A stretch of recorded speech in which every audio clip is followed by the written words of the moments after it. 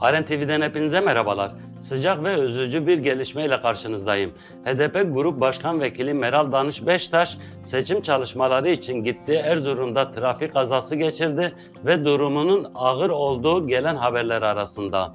Halkların Demokratik Partisi HDP Grup Başkan Vekili Meral Danış Beştaş ile şoförü Mehmet Vefa ve ismi öğrenilmeyen parti yöneticisi seçim çalışmaları kapsamında gitti Erzurum Karayazı ilçesinde trafik kazası geçirdi.